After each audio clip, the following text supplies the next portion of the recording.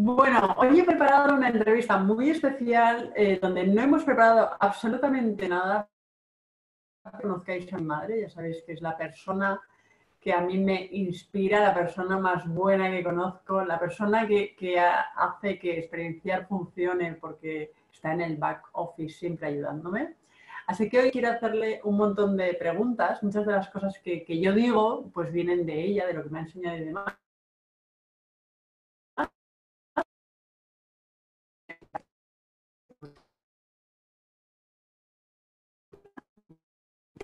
¿Cómo te llamas? Me llamo Carmen Socias Estiles. Tengo 71 años recién cumplidos y soy bastante feliz. Qué bien. Y mami, a ver, cuéntanos tú a qué te has dedicado. ¿Tú has sido emprendedora? Sí, he sido emprendedora, he tenido una tienda durante muchísimos años he trabajado en una bardería, bueno, he hecho mil cosas. Y gracias a Dios siempre me ha ido muy bien. Bueno, mami, yo recuerdo en, mi infancia que tenías esta tienda de decoración y que siempre me contabas que antes de esta tienda habías trabajado en, en el Banco de España, ¿no? De hecho, yo os tengo que contar que mi madre, cuando nos sentábamos en la mesa, era obsesión de espalda recta, el tenedor en su sitio, no se chupan los dedos, o sea, un montón de cosas de protocolo que ya tenía como súper interiorizadas, que a día de hoy hacemos de manera automática porque es lo que nos ha enseñado, pero que, bueno, muchas de estas cosas, pues el resto de, gente no lo tenía tan interiorizado, ¿no, mami? Mm, por supuesto que no, pero pienso que la educación es eh, muy importante en esta vida sí que los he machacado un poquitín a mis hijos con esto. Machacado. Y entonces estoy muy contenta de ellos y de lo bien educados que están. O yo lo creo, que también me podría equivocar. Bueno, mami, o Carmen Socias Estiles, tú ahora que tienes 31 años, que estás en esta tercera adolescencia. Totalmente. ¿Qué dirías que es importante en la vida? Es decir, si tú ahora a alguien que tiene 20 años, ¿qué le dirías? ¿Qué consejos le, darías para vivir mejor o para ser más feliz o para aprovechar más la vida? En primer lugar, que sea muy respetuoso con la familia, que les haga un poquitín de caso y dentro de las posibilidades o pidiendo ayudas que estudie. Estudie. O sea, para ti es muy importante que hayamos estudiado. Y por eso he dicho, o pidiendo oportunidades, pidiendo amigos, pidiendo lo que sea. Pero, pidiendo, ¿a qué te refieres con pidiendo? Mm, sea tal vez económico, sea por el Estado, pero que... O sea, pidiendo becas o en algún momento que, no has podido, eh, pidiendo ayuda a amigos para pagarnos algo. Algo. Entonces es súper importante la, formación. La formación. Y, mami, ¿qué importancia ha tenido para ti el amor en tu vida? Mm, para mí ha sido lo más importante. Lo más importante, pero amor... No, de lo más importante. De lo más importante, vale. Pero no sé a qué amor te refieres. Y... Puede ser amor por amigos, por tus hijos, por tus parejas. Por mis parejas, ah, por supuesto por mis padres, mis hermanos y por la pareja que haya tenido en distintos momentos. Muy bien. Bueno, ¿y tú qué, herencia querrías dejar de, tu sabiduría y de toda tu experiencia a tus nietas? Todo. Todo, pero ¿qué quieres decir? O sea, ¿qué, le, dejarías si les pudiese escribir una carta? Les dirías, a ver, querida Aitana y Araya, yo os ah. aconsejo, yo os digo que ante la vida tengáis mucho respeto a todo el mundo, por supuesto a los abuelos, a vuestros padres, a los amigos, a todo el mundo, que crezcan con amor y respeto. Muy bien. Y tú, para, la gente que no me conozca, ¿tú cómo, cómo me describirías a mí? Viendo que si tu hija, que sabes todas las cosas buenas y malas, ¿tú cómo me describirías a la gente que no me, que no me conoce? Yo creo que eres una buena persona y has tenido una buena educación esto englosa casi todo. amor, respeto, buena hija, buena amiga. Bueno, como veréis, mm, yo soy directa, pero me hace de condensar y no dar mucho rollo. Así que de ahí me viene. Bueno, ¿y alguna cosa más que, tú quieras dar, algún consejo para los emprendedores sobre tu etapa eh, que tuviste esta tienda de decoración en, La Liana, en un pueblecito de, Valencia, donde yo me he criado? Y, en paralelo, yo siempre cuento que, tú, pues muchas veces cerrabas la, tienda y si el repartidor de turno no te podía ayudar, tú te cogías la mesita, la no sé qué, no sé más, la subías en el coche y allí que, que la repartías. Cuéntanos un poco esta etapa, experiencia, cómo viviste estos años de emprendimiento con, esta tienda de decoración que tuviste? Pues la verdad es, para mí es maravillosa. En primer lugar, porque ganaba lo suficiente para mantener a una familia. En segundo, que todos mis clientes, tanto los que me compraban un colchón, unos que me compraban un, un somier, a los que les decoraba completamente la casa, han sido personas que sigo teniendo relación ahora y son unas bellísimas personas. Vale. Y en la parte de emprendimiento, ¿qué consejos darías como a la hora de emprender? De, bueno, yo me recuerdo que tú te ibas a ferias a Barcelona y fuera para coger tal detalle o tal cual, porque eras como muy moderna para, para la tu época. Cuéntanos esto.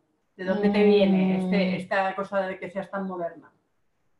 No sé, normalmente no voy a decir de dónde soy, eh, pero... Pero dilo mamá. O sea, yo soy de Tarragona y la gente creo que es un tren muy lanzada. ¿En, Tarragona o en Cataluña? En Cataluña. En Cataluña porque está más cerca de Francia. A lo mejor ahora no se nota tanto la diferencia, pero antes se notaba mucho. Antes se notaba mucho. Entonces,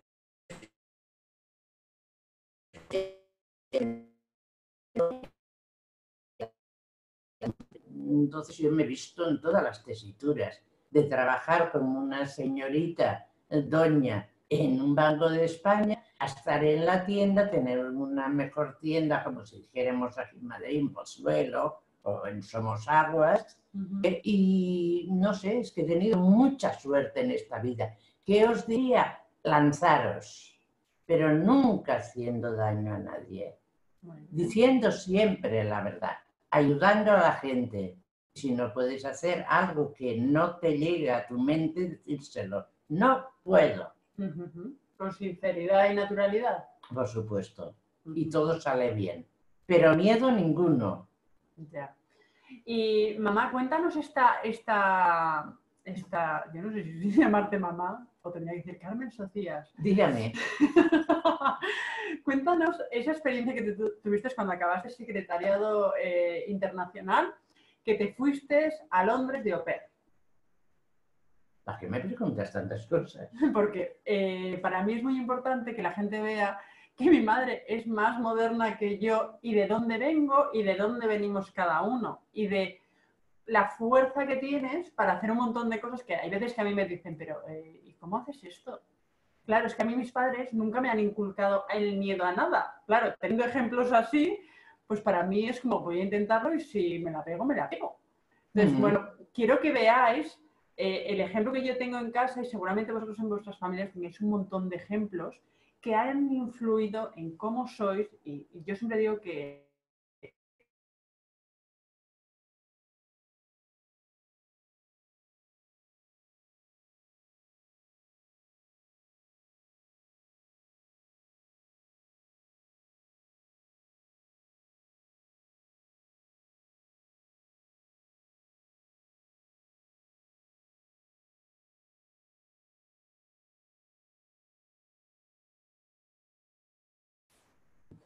Ahora, bueno, entonces te fuiste de OPER y...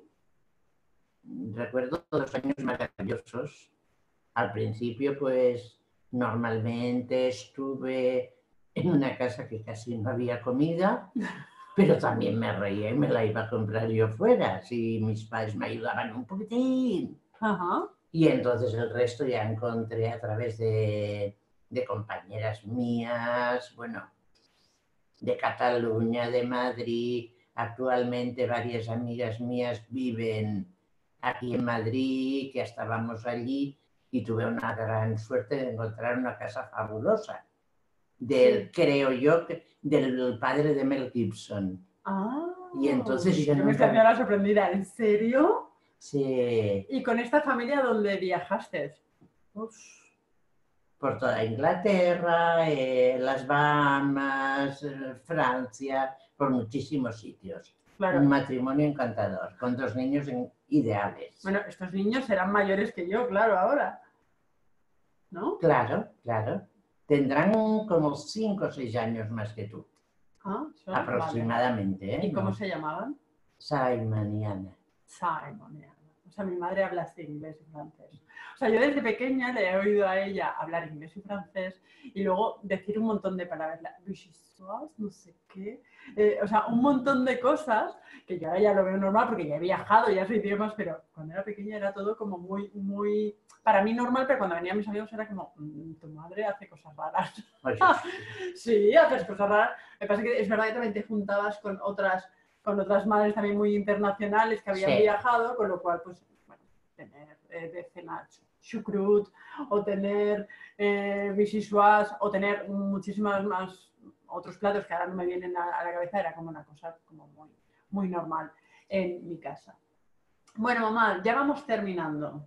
Muy bien.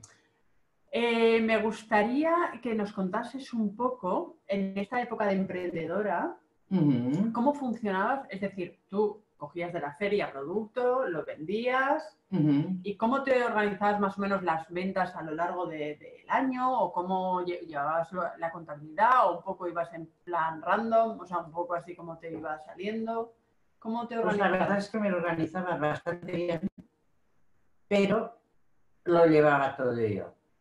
Un- una especie de libreta, apuntaba, porque lo que más me preocupaban eran los pagos. Y eso es como me organizaba. O sea, con una libreta te ibas organizando para asegurarte los pagos. Sí, primero que todo. Y luego, pues, pa- para la ropa de mis hijos, para todos los gastos. Ya. Otra cosa que te quiero preguntar, ya la última, el networking, la red de contactos. ¿Cómo de importante ha sido para ti esta red de contactos, de amistades, de apoyo, de colaboración en tu vida? Total. Total. O sea, yo en aquel momento no se llamaba networking, pero a través de toda mi gente que sigue la misma, es la que me ha ayudado a mí.